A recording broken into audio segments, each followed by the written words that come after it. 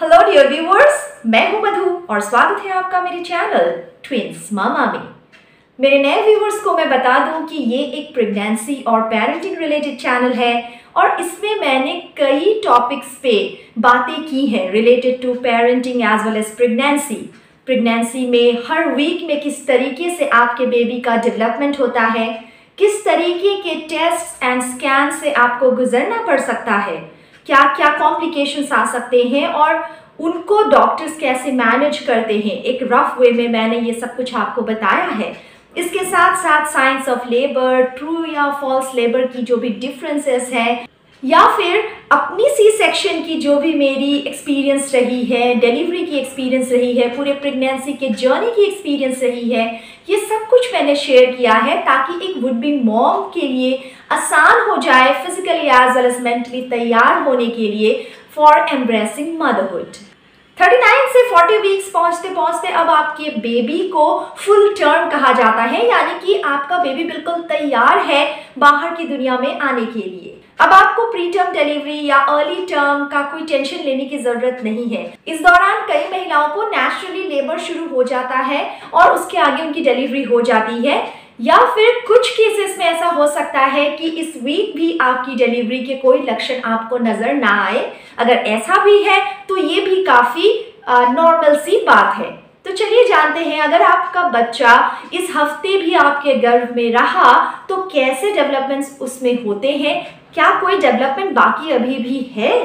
सो so, pregnancy के इस अंतिम चरण में बेबी ऑलमोस्ट 20 इंचेस लंबा हो जाता है और अभी भी उसके ब्रेन के कुछ डेवलपमेंट्स होते रहते हैं। मतलब baby is still becoming more smarter every day उनके नाखून इतने बड़े हो चुके होते हैं कि वो अब फिंगर टिप्स को क्रॉस करने लगते हैं। इस हफ़्ते अक्सर डॉक्टर्स एक बायोफिजिकल प्रोफ़ाइल जिसमें कि ultrasound scan as well as non stress test किया जाता है। ये शेड्यूल करते हैं इस बात को इंश्योर करने के लिए कि आपके बेबी का जो भी स्टेटस है गर्भ के अंदर, वो बिल्कुल सही है। और अगर इसमें कोई भी परेशानी दिखे तो अक्सर लेबर इंड्यूस करवाया जाता है या फिर कुछ केसेस में सी सेक्शन प्लान किया जा सकता है। ब्रेक्सटन हिक्स कॉन्ट्रैक्शंस पिछले कई हफ्तों की तरह इस हफ़्ते भी आ, एक आम अकरेंस होता है। ब्रेक्सटन हिक्स कॉन्ट्रैक्शंस या प्रैक्टिस कॉन्ट्रैक्शंस आपके ट्रू लेबर कॉन्ट्रैक्शन से कैसे डिफरेंट होते हैं और आप किस तरीके से इन दोनों में फ़र्क कर सकती हैं इस बारे में मेरा ऑलरेडी पब्लिश्ड वीडियो है एक true versus false labour contractions नामक। आप उस वीडियो को देखिए आपके लिए ये जानना बहुत ज़रूरी है कि ट्रू लेबर क्या होता है और ये प्रैक्टिस कॉन्ट्रैक्शंस क्या होते हैं। इस दौरान बेबी काफ़ी लो लेवल में यू नो मौजूद होता है lower in the pelvis so इसी वजह से आपके पेल्विक एरिया में एक दबाव सा आपको महसूस हो सकता है डिस्कम्फर्ट सा महसूस हो सकता है और बहुत बार पेल्विस और वेजाइनल एरिया में एक महिला को एक बहुत ही अजीब सा सेंसेशन सा फील होता है. एक शार्प लाइटनिंग सा सेंसेशन बाय नाउ आपको लेबर के साइंस के बारे में एक अच्छा नॉलेज डेवलप करना बहुत ज़रूरी होता है। तो अपने डॉक्टर से बात कीजिए इस बारे में, सीखिए, समझिए। और इसके लिए आप मेरे प्रीवियसली पब्लिश्ड वीडियो को भी देख सकते हैं। उसमें मैंने साइंस ऑफ़ लेबर के बारे में सब कुछ डिटेल्स में डिस्कस किया हुआ है। अगर कोई कॉम्प्लिकेशन हो आपकी प्रेगनेंसी में या आपको ट्विंस या मल्टीपल्स हो तो इस दौरान डॉक्टर आपका लेबर इंड्यूस करवा ही देंगे। या फिर ट्विंस और मल्टीपल्स के केस में अक्सर क्या होता है? एक बेबी ब्रिज पोजीशन में होता है या फिर वो थोड़े डायगनल से पोजीशन में होते हैं। ऐसे में हो सकता है आपको एक प्लान सिजेरियन सेक्शन के द्वारा डिलीवर करने के लिए डॉक्टर सलाह दे। मैंने आपको अपने प्रीवियस वीडियोस में भी कहा है कि ट्विंस के लिए thirty seventh week of pregnancy को फुल टर्म माना जाता है। सो थर्टी नाइन्थ वीक तक अगर आप किसी तरह पहुँच गई तो अब तो श्योर है कि आपके डॉक्टर्स आपको डिलीवरी के लिए कहेंगे या आपको प्रिपेयर रहना चाहिए कि डिलीवरी वेरी सुन होने वाली है। सो so, अब बस लास्ट मिनट चेक्स अपना कर लें अपनी गाड़ी तैयार रखें क्योंकि किसी भी वक्त हो सकता है आपको हॉस्पिटल जाना पड़े।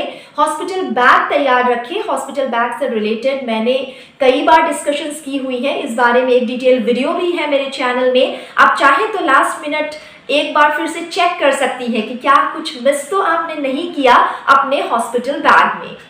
रिलैक्स रहने की कोशिश करें, थोड़ा घर के अंदर ही टहल वहल लिया करें, अपनी ब्लड सर्कुलेशन को अच्छा रखें, तीखा, जला भुना, इस तरीके का खाना ना खाएँ। जितना हो सके रेस्ट करने की कोशिश करें और बस, बहुत जल्दी ही आपका बेबी आपकी गोद में होगा, उसका इंतज़ार करें।